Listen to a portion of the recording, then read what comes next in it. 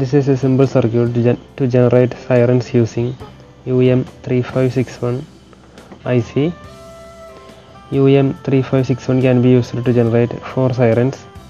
They are police siren, fire engine siren, ambulance siren, and machine gun sound.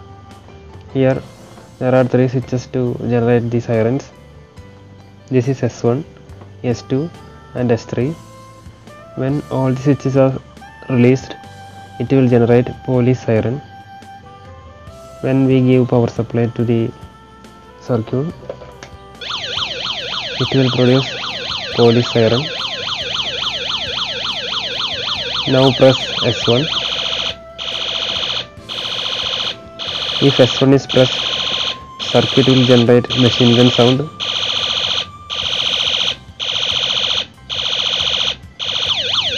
Now press S2.